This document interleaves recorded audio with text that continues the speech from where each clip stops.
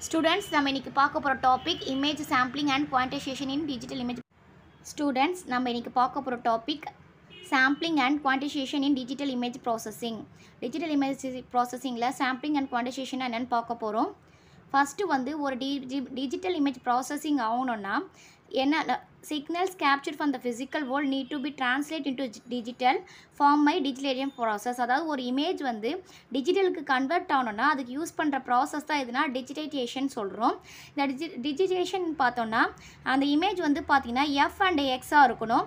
அது வந்து both spatially and amplitude ரெண்டு வேல்யூமே பேஸ் பண்ணி தான் ஒரு இமேஜ் வந்து டி டிஜிட்டல் இமேஜாக கன்வெர்ட் ஆகுது. இப்போ டிஜிட்டல் ப்ராசஸ் பார்த்தோன்னா டூ மெயின் ப்ராசஸ் இருக்குது டிஜிட்டலாக கன்வெர்ட் ஆகிறதுக்கு அந்த ப்ராசஸ்ஸு அது என்னென்ன இருக்கும் பார்த்தீங்களா சாம்பிளிங் அண்ட் குவான்டிசேஷன் சாம்பிளிங் சாம்பிளிங்னா என்னன்னு பார்த்தோம்னா டிஜிட்டிங் தி கோஆர்டினேட் வேல்யூ அதாவது கோஆர்டினேட் வேல்யூ பேஸ் பண்ணியிருக்கிறது தான் சாம்பிளிங் அதாவது எக்ஸ் வேல்யூ ஒய் வேல்யூ ரெண்டு வேல்யூ கோஆர்டினேட் வேல்யூ இருக்கும்ல எக்ஸு அண்ட் ஒய் அதை பேஸ் பண்ணி டிஜிட்டைஸ் பண்ணுறதா சாம்பிளிங்கு சாம்பிளிங் வந்து எதில் வந்து ஒர்க் ஆகும்னா independent variable in case of equation y equal to sin of s is done on x variable. இது வந்து formula x equal to sin of x. Sampling convert பண்ணுறதுக்கு இந்த பிக்சர் பாருங்கள் இந்த பிக்சரில் பார்த்தீங்கன்னா டைம் அண்ட் வோல்டேஜ் இருக்குது இது வந்து சாம்பிளிங் பாயிண்ட்ஸு எந்த இடத்துல இருந்து நம்ம வந்து எக்ஸ் வேல்யூ ஒய் வேல்யூ எடுக்கிறோன்ற இல்லையா? அந்த இமேஜ் கன்வெர்ட் பண்ணுறதுக்கு ஒரு இமேஜ் கன்வெர்ட் பண்ணோன்னா அது ஃபிக்சல்ஸை எடுத்து அந்த ஃபிக்சல்லேருந்து X value Y value convert பண்ணி தான் நம்ம சாம்பிளிங் எடுக்க முடியும். இப்போ பார்த்தீங்கன்னா இப்போ இந்த பிக்சரில் தெரியுதுங்களா? அந்த வோல்டேஜ் அண்ட் இது இதுதான் வந்து சாம்பிளிங் பாயிண்ட்ஸு நம்ம ஏற்கனவே சொல்லியிருக்கோம்ல சாம்பிளிங் வந்து எதை பேஸ் பண்ணி இருக்கும்னு பார்த்தீங்கன்னா as a relationship with image pixels image pixel பொறுத்து தான் இருக்கும். இப்போ டோட்டல் நம்பர் ஆஃப் இமேஜ் அதாவது total number of number of pixel வச்சு தான் இமேஜ் வந்து கால்குலேட் பண்ணுவோம். இப்போ ஃபிக்சல் வந்து சொல்லணும் பார்த்தோன்னா total number of rows into total number of columns to எத்தனை ரோஸ் இருக்குது எத்தனை காலம்ஸ் இருக்குது அதை பொறுத்து நம்ம என்ன பண்ணுவோம்னா ஃபிக்சல்ஸை நம்ம பண்ணுவோம். இந்த சாம்பிளிங் எதை பேஸ் பண்ணியிருக்கோம்னா இமேஜ் பிக்சல் பார்த்தீங்கன்னா இமேஜ் பிக்சலை பேஸ் பண்ணி இருக்கும். ஃபார் எக்ஸாம்பிள் நம்மளோட பிக்சல் வந்து தேர்ட்டி சிக்ஸ் இருந்துச்சுன்னா அது என்ன சொல்லுவோம்? Square image six into six அப்புறம் six rows and six columns அப்போ six into six thirty six pixels next பார்த்தோன்னா குவான்டி குவான்டிசேஷன் டிஜிட்டிங் அதாவது நம்ம வந்து டிஜிட்டைசிங் த ஆம்ப்ளிடியூட் வேல்யூ அதாவது சாம்பிளிங்கில் பார்த்தோன்னா கோஆர்டினேட் வேல்யூ பேஸ் பண்ணியிருக்கும் குவான்டிசேஷன் பார்த்தீங்கன்னா ஆம்ப்ளிடியூட் வேல்யூவை பேஸ் பண்ணியிருக்கும் அதாவது நம்ம இமேஜ் வந்து ஆம்ப்ளிடியூட் வேல்யூவாக டிஜிட்டைஸ் பண்ணுறோம்னா அது பேர் தான் அதுனா quantization Quantization is a process of transferring a real value sampled image to 1k taking only a finite number of distant values. இது எப்படின்னா ரியல் வேல்யூவாக எடுத்துக்கும் எடுத்து ஃபைனட் நம்பர் ஆஃப் இமேஜில் எத்தனை நம்பர் ஆஃப் தேவையான அந்த வேல்யூ இருக்கு இல்லையா? அந்த ஆம்ப்ளிடியூட் வேல்யூவில் எந்த இடத்துல இமேஜ் இருக்கோ அந்த வேல்யூ மட்டும் தான் நமக்கு வந்து எடுத்துக்கும். In simple words when you are way இது வந்து பார்த்தீங்கன்னா எப்படி இருக்கணும் சிம்பிளாக சொல்லணும்னு பார்த்தோன்னா குவான்டிசேஷனில் சிம்பிளாக சொல்லணும்னு பார்த்தீங்கன்னா இது வந்து சிக்னல் வந்து பார்ட்டிஷனாக பிரிச்சிருக்கும். டிவைட் பண்ணியிருக்கும் அந்த சிக்னல்ஸை டிவைட் பண்ணியிருக்கும் அதான் வந்து குவான்டிசேஷன் இந்த image these vertically ranges have been quantified five different levels or partitions டிஃபால்ட்டாக பார்த்தோம்னா குவான்டிசேஷனில் பார்த்தோம்னா நம்ம இமேஜ் வந்து எப்படி இருக்கும்னா அஞ்சாக பிரிப்போம். அஞ்சு லெவல்ஸ் ஆர் பார்ட்டிஷியன் சொல்கிறோம் அது வந்து பார்த்திங்கன்னா ரேஞ்சிங் வந்து பார்த்தோன்னா ஜீரோ டு ஃபோர் அதாவது ஜீரோ வந்து பிளாக் இருக்கும் ஃபோர் வந்து ஒயிட் இருக்கும். இன்டர்மீடியட் பார்த்தோம்னா நமக்கு வந்து என்ன இருக்கும்னா அந்த பிளாக் ஒயிட் கலந்த மாதிரி கிரே கலர் மாதிரி இருக்கும். அது வந்து இன்டர்மீடியட் இதான் வந்து குவான்டைசேஷன் இப்போ குவான்டைசேஷன்லாம் புரியுதுங்களா? இப்போ இந்த இமேஜ் பாருங்கள் ஏற்கனவே நம்ம பார்த்த இமேஜ் சாம்பிளிங் இருக்கும் போது எதுவுமே வரல. அப்படியே வந்தது. ஆனால் இங்கே குவான்டைசேஷன் சொல்லும் போது இது பார்த்தீங்களா பார்ட்டிஷனாக பிரியுன்னு சொல்லும் பார்த்தீங்களா அது வந்து இது இதுவாது சாம்பிளிங் வந்து சாம்பிளிங் பார்த்தோன்னா எக்ஸ் ஆசிஸ் பேஸ் பண்ணி இருக்கும். சாம்பிளிங் வந்து X axis and then quantization வந்து ஒய் ஆக்சிஸ் ஒய் ஆக்சிஸை பேஸ் பண்ணி இருக்கும். இப்போ பார்த்தீங்கன்னா இது வந்து டிவைடாக இருக்குது இல்லையா? அதாவது நம்மளுடைய இமேஜோட இது ஃபைவ் பார்ட்டிஷனாக பிரித்து அது கலர் தகுந்த மாதிரி பிரிக்க தான் அதுனா quantization there is a relationship between the quantization with grey level resolution அதாவது கிரே லெவல் வந்து இதில் வரும்.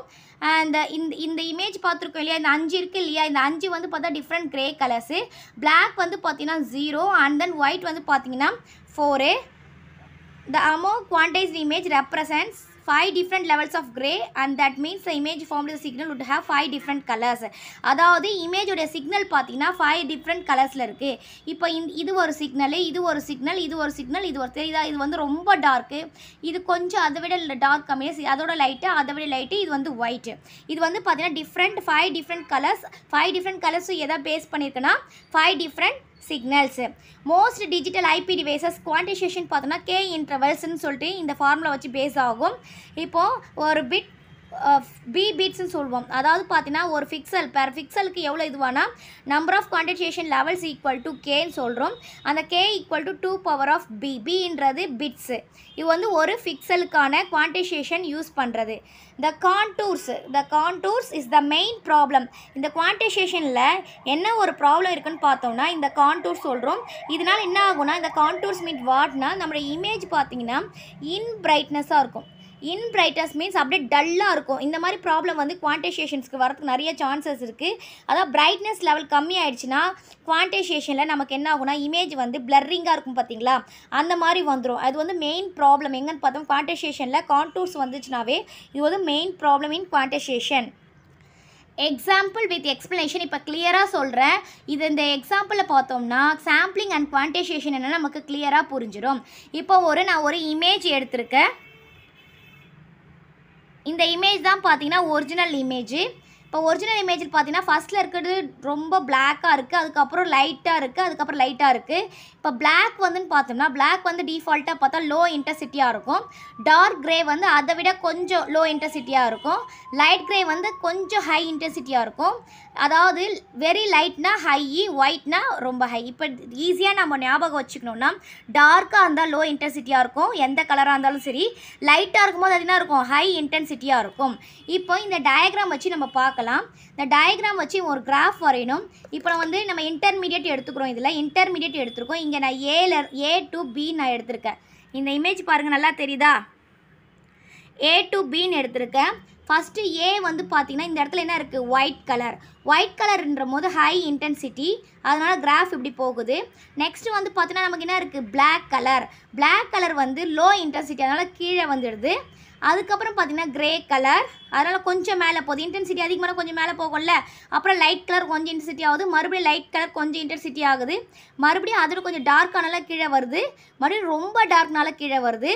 நெக்ஸ்ட்டு இங்கேருந்து இங்கே வருது. இங்கே வந்துட்டு என்னது? ஒயிட் இல்லையா? ஒயிட்ன்ற போது ஹை இன்டென்சிட்டி போயிட்டு அது மேலே வருது. கிராஃப் கிளியராக புரியுதா? இந்த எக்ஸாம்பிள் வச்சு தான் இந்த நம்ம வரைஞ்சிருக்கிற டயக்ராம் வச்சு தான் நம்ம வந்து இந்த கிராஃப் ட்ரா பண்ணியிருக்கோம். ஃபஸ்ட்டு வந்து ஏ வந்து ஒயிட்டாக இருக்குது அப்புறமா வந்து பிளாக்கு பிளாக்னால் லோ இன்சென்டிவ்லாம் கீழே போயிடுது. அதுக்கப்புறம் கொஞ்சம் டார்க்கு கொஞ்சம் டார்க்குனா மேலே வருது. திருப்பி வந்து எப்படி ஆகுது? மறுபடியும் லைட்டு டார்க்கு டார்க்னால கீழே வந்துடுது. அப்புறம் பீன்றதுனால போயிடுது. இதுதான் வந்து நம்ம வரைஞ்சிக்க கிராஃபு இப்போ சாம்பிளின்னு பார்த்தோன்னா எக்ஸ் ஆக்சிஸ் சொன்னோம் இல்லையா? இப்போ இது என்ன ஆகுனா இங்கேருந்து இது வருது. இங்கேருந்து இது ஒரு பார்ட்டிஷியன் அப்புறம் இங்கே வருது.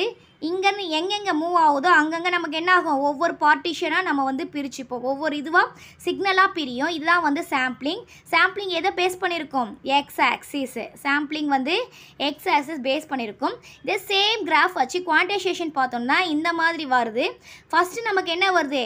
டார்க்கு ஃபஸ்ட்டு டார்க்கு அதை விட டார்க்கு அப்புறம் அதை விட லைட்டு அதை விட லைட்டு அப்புறம் ரொம்ப ஒயிட்டு இதுதான் வந்து பார்த்திங்கன்னா இது ஜீரோ இது ஜீரோலேருந்து ஃபோர் வரைக்கும் போகும்னு சொல்லுவாங்க. Zero one two three four வெர்டிக்கலாக வந்து சொல்கிற ஹொரிசாண்டலாக சொல்கிறது சாம்பிளிங்கு அண்ட் தென் வெர்டிக்கலாக வந்து X axis is Y axis Y axis மூலயமா சொல்கிறது எதுனா குவான்டிசேஷன் இப்போ இது டிஃப்ரென்ஸ் பிட் இப்போ சாம்பிளிங்லாம் என்ன? இந்த டயக்ராம் வச்சு எது சாம்பிளிங் ரேட்டு ரெண்டு எது குவான்டிசேஷன் ரேட்டும் தெரியுதா?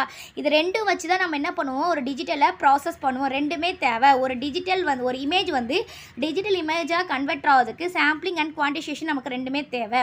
இப்போ ஒரு எக்ஸாம்பிள் பாருங்கள் அனலாக் இமேஜ்லேருந்து டிஜிட்டல் இமேஜ் எப்படி கன்வெர்ட் ஆகுதுன்னு பார்க்கலாம். இப்போ ஒரு நான் ஒரு எக்ஸ் ஒரு ஒரு பிக்சர் வந்து நான் ட்ரா பண்ணியிருக்கேன் தெரியுதுங்களா? இப்போ ட்ரா பண்ணியிருக்கேன் ட்ராப் பண்ண பார்த்தோன்னா இது எப்படி டிஜிட்டல் இமேஜாக கன்வெர்ட் ஆகுதுன்னா இந்த பிக்சல்ஸ் இருக்கு இல்லையா? கொஞ்சமாக இருந்தால் அதை அக்செப்ட் பண்ணிக்காது. இப்போ பாருங்கள் இதில் கொஞ்சமாக இருக்க அக்செப்ட் பண்ணிக்கல.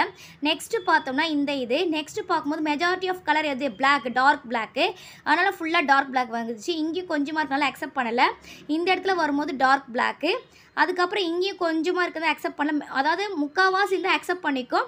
கொஞ்சமாக இருந்தால் அக்செப்ட் பண்ணிக்காது. இது வரல. இது பார்த்திங்கன்னா கொஞ்சம் லைட் க்ரே அதுக்கப்புறம் இது அதை விட லைட் க்ரே இது கொஞ்சம் டார்க் க்ரே இது வந்து கொஞ்சம் டார்க் ரே இது பார்த்தீங்கன்னா பிளாக்கு இது பிளாக்கு இது பிளாக்கு இது பிளாக் இப்போ இமேஜோட டிஜிட்டல் ப்ராசஸிங் எப்படி கன்வெர்ட் ஆகுதுன்னு தெரியுதா? மேஜர் ஆஃப் த போர்ஷன்ஸு என்ன கலரில் இருக்கோ அதை மட்டும்தான் எடுத்துக்கும். கொஞ்சமாக இருக்கிறதுலாம் என்ன பண்ணிக்காதுன்னா அக்செப்ட் பண்ணிக்காது. இப்போ நம்ம சாதா கொடுக்குற இமேஜ் டிஜிட்டல் இமேஜாக இப்படி தான் கன்வெர்ட் ஆகுது. இப்போ உங்களுக்கு கிளியராக புரிஞ்சிருக்கும்னு நினைக்கிறேன். சாம்பிளிங்லாம் என்ன குவான்டைசேஷனாக என்னென்னு புரிஞ்சிருக்கும்னு நினைக்கிறேன். சேனலை பார்க்குறவங்க சப்ஸ்கிரைப் பண்ணுங்கள் தேங்க்யூ தேங்க்ஸ் ஃபார் வாட்சிங் நம்ம சேனலை சப்ஸ்கிரைப் பண்ணுங்கள் வீடியோவை ஷேர் பண்ணுங்கள்